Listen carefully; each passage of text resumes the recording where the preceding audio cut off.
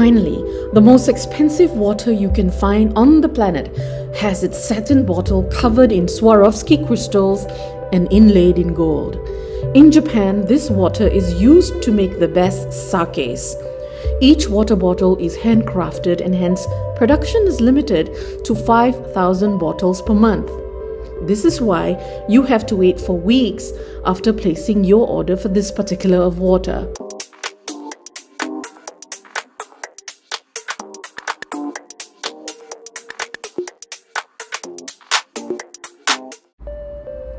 Hi everyone! Thanks for clicking to my channel today. Hope you're doing well and hope that I could bring something new to you today, specifically on water. Some people say water is not just water. Well, is it? Chemically speaking, it's a combination of two atoms of hydrogen, chemical symbol H, and one atom of oxygen, chemical symbol O, which is how we get that famous chemical formula H2O. However, what makes water different from one bottle to the next is what is dissolved in it. What's mixed in together in the solvent of H2O? The quantity of substances dissolved in water is measured by its TDS value. TDS is the shorthand for total dissolved solids. Now, here's where it gets a little complicated, but I'll do my best to explain. So, you would think that the less the TDS value, the better, right? I mean, you wouldn't want any harmful substances in your water now, would you? But the key word here is harmful. You see, the US Environmental Protection Agency, or EPA, uses TDS as a secondary standard in terms of water safety and does not, in fact, use a limit, but rather only a guideline. Furthermore, even though the WHO panel of tasters said that a TDS level of more than 1200 milligrams per liter was unacceptable. In actuality, many substances can be dissolved in our drinking water. TDS is a measure of this regardless of what they are. So, some say WHO's panel should not be followed without further investigation. What that means is just because it has a high TDS doesn't mean it is unsafe as per EPA standards. You see, the bottled water that is sold, which is from natural sources, aren't like your everyday creek or stream or river that you may come across on your hike through the local nature park. They are actually from unique or pristine sources of water. The water collected from these sources are tested and then bottled. Bottled water in the US is regulated by the EPA or Environmental Protection Agency. Most of these are sourced from springs, but not always as is with the Svalbardi water, which is from iceberg. So now that I've cleared up what I mean when I say natural water, why would you choose it instead of purified water? Well, did you know different waters have different textures and even taste? Drinking water can be an experience and not just a necessity we barely think about. Let me give you some examples of natural bottled water. First up is Fiji water.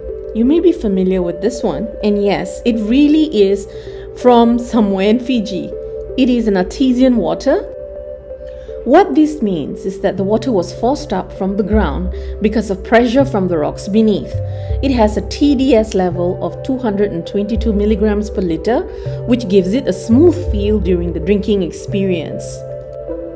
Next up, we have Svalbardi polar iceberg water from Norway, one of the lowest TDS levels on this list at 21 milligrams per liter. Understatedly compared to higher TDS, it is considerably milder in taste and is in fact the mildest I will mention today. In continuation, let's move on to a water with a very strong and even metallic taste. Yes, metallic. Why? Well, because this bottled water has the highest magnesium content of any bottled water in the world. The overall mineral content being so potent, it's even possible to see some solids floating in the water. Want to guess its TDS level? Well, it comes in at a whopping 7,400 milligrams per liter. Oops, almost forgot to tell you its name. It's called Roi and it's from Slovenia. Just a quick reminder all these natural bottled waters I'm mentioning are considered safe for consumption according to the EPA, as it is not just water from random streams or springs, which is definitely not something you want to be drinking. Now, the next brand of natural bottled water I'll mention today is a type of sparkling water. So, before I talk about it, let's take a quick look at what sparkling means. Well, actually, sparkling water just means carbonated water or water that has carbon dioxide in it. Most sparkling waters are artificially carbonated, but not this one. It is none other than the Spanish brand Vichy Catalan, also very high in mineral content with a TDS of 3050 milligrams per liter. It's especially high in sodium, which gives it a salty taste. Natural bottled water is pricier than its purified counterpart. In fact, they can go for really extravagant prices. Here are the 5 most expensive water in 2021. At number 5, hailing all the way from Scotland, UK, is Uisge Source. Uisge is the Scottish Gaelic word for water it is bottled from the private sources either close to or from distilleries in the whisky regions of Scotland. It is 60 US dollars per liter of water. The fourth most expensive in the world, which bottles comes covered all the way to the top in sparkly crystals, rightfully so with its name, Bling H2O, costs 104 US dollars per liter of water. The third most expensive in the world is Svalbardi, which comes from icebergs naturally carved from glaciers into the fjords of Svalbard, about a thousand kilometers from the North Pole. It is 166 US dollars per liter. Coming in as the second most luxurious water in the world is Nevas from Germany. Nevas combines the water of two artesian mineral wells that are several hundred years old. These sources of water has a high content of natural calcium and more than 62 milligrams per 100 milliliters. And it is the first cuvee in the water segment that is also mixed with sparkling carbon dioxide. Finally, the most expensive water you can find on the planet has its satin bottle covered in Swarovski crystals and inlaid in gold. In Japan, this water is used to make the best sakes. Each water bottle is handcrafted and hence production is limited to 5,000 bottles per month.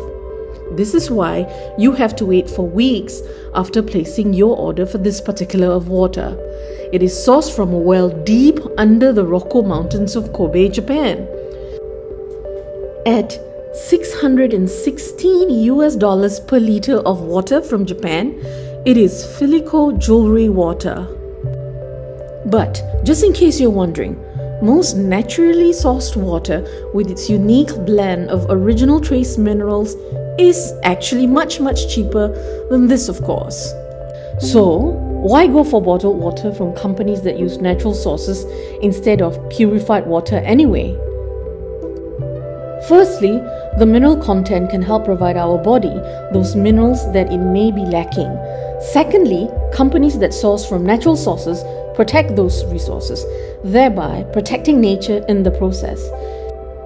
Finally, drinking these types of bottled water can be an exciting experience beyond just the need of drinking water. By the way, water sommelier Martin Riese recommends all these waters be consumed at room temperature for the best experience. Another common measure of water safety is its pH level. Anything with a pH of 7.0 is considered neutral. Anything below is acidic, and anything above is basic, also known as alkaline if the substance is a liquid. 6.5 to 8.5 is the usual pH of groundwater, with underground sources usually coming in at 6.0 to 8.5 pretty neutral. In fact, too acidic or too alkaline water is definitely not safe. What's worse, water that is too acidic, less than pH of 6.5, can cause leaching of metal ions such as iron and zinc into the water, compounding the danger. Many claim that alkaline water has its benefits, but Martin Riese has his doubts on these claims, especially when they say they balance out our body's pH. Which, with its myriad of complexities, requires so many different pH levels to function properly, such as our blood to our stomach environment, all requiring different values. The WHO also states that water with the pH more than 8.0 can be hard to process or disinfect because the chlorination procedure will not be as effective as required. Nevertheless, pH is usually considered as a secondary standard in the US and its levels of restrictive relevance is similar in Canada. Okay, so just a quick recap before I sign off today. Should we be drinking natural or purified water? Purified water is water that is treated to remove harmful substances such as bacteria and fungi, as well as other dangerous microorganisms. Not to mention dangerous quantities of metals such as lead and copper and chemical pollutants. This is good. Very, very good. But these processes also remove healthy minerals our body needs minerals which are artificially added later into bottled water from non natural water selling companies.